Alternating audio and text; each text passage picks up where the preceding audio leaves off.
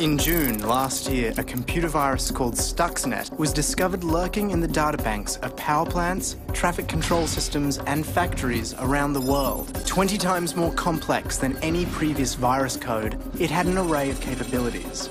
Among them, the ability to turn up the pressure inside nuclear reactors or switch off oil pipelines, and Stuxnet could tell the system operators everything was normal.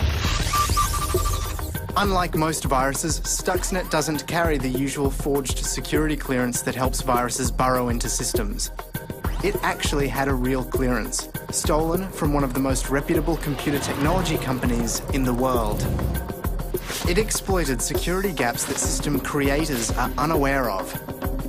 These holes are known as zero days, and the most successful viruses exploit them. The details of a zero day can be sold on the black market for $100,000. Stuxnet took advantage of 20 zero days. But once it got into a system, it didn't always activate. Buried deep in the Stuxnet code was a specific target. Without that target, the virus remained dormant. What was it looking to shut down? The centrifuges that spin nuclear material at Iran's enrichment facilities. Stuxnet was a weapon, the first to be made entirely out of code.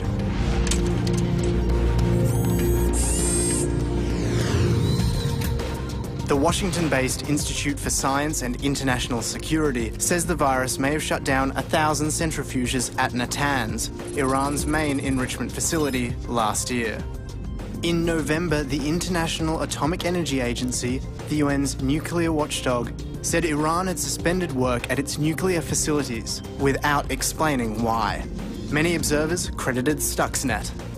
Last month, the Iranian government conceded the virus's infection of the Bushehr nuclear facility, still under construction, meant that switching the plant on could lead to a national electricity blackout. Iran has responded to the attack with an open call for hackers to join the Iranian Revolutionary Guard and has reportedly amassed the second largest online army in the world. So who was behind Stuxnet? There's no evidence beyond rumour. Some have it that Israel is responsible because the virus code apparently contains references to the Hebrew Bible. Others believe the US was involved in the testing and development. The finger has even been pointed at Siemens mobile phone company, whose software is used by the Iranian regime. The most important question may not be who designed it, but who will redesign it. The evolution has been so fast that nine months after its detection, the first virus that could crash power grids or destroy oil pipelines is available online for anyone to download and tinker with. You can watch people on YouTube pulling Stuxnet apart. It's an open source weapon. And there's no way of knowing who will use it or what they will use it for.